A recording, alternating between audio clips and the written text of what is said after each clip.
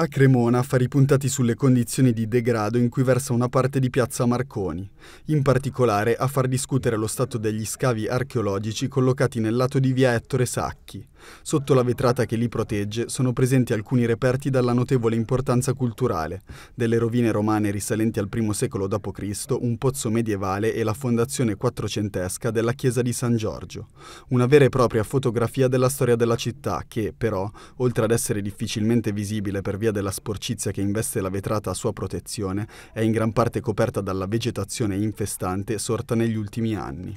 Gli scavi archeologici della Domus nei pressi della facciata di San Giorgio che abbiamo qui sotto dove cresce una rigogliosissima foresta amazzonica grazie a questa specie di serra evidentemente il progetto non è stato un buon progetto perché era ovvio che se io metto un po' di acqua, un po' di umidità e un bel vetro la vegetazione cresce.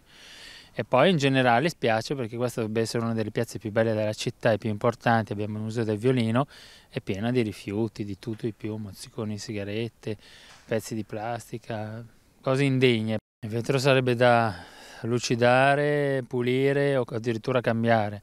Il problema di questi scavi aperti si capiva già negli anni Ottanta che non funzionano perché il vetro fa l'effetto serra e poi Provate a immaginare voi a tenere un vetro sotto la pioggia tutto l'anno, la sabbia, il vento, la polvere, quindi qui andrebbe pulito tutti i giorni, invece qua non viene mai pulito, adesso gli scavi non si vedono più assolutamente. Tra l'altro poi si è sviluppata una vegetazione di felci, di rove d'amore, con insetti e così via, molto interessante. Io invito assolutamente l'Università Statale a studiare questo microcosmo, micro, microambiente eccezionale. Bisogna fare uno studio scientifico.